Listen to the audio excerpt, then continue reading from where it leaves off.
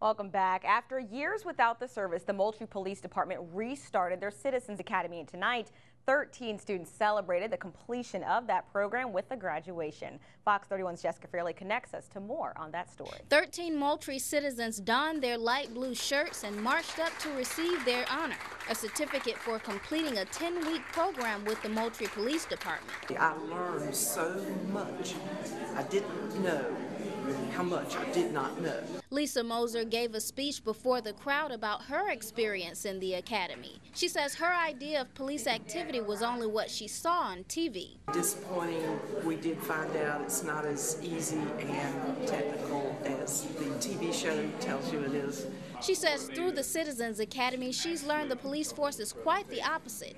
And this knowledge is something she and her classmates learned firsthand. What they have done, they've gotten a chance to experience uh, the different aspects of the department, from the criminal investigation, from patrol to criminal investigation. And they weren't only watching, they got involved. They were put in certain scenarios to, you know, be able to learn how to shoot, how to hold a gun, how to stand, when to shoot, when not to shoot. The experience wasn't only a benefit for those enrolled in the course. Police officials are also walking away with the feeling of enlightenment. What we uh, gained from it is a, a world of knowledge from them.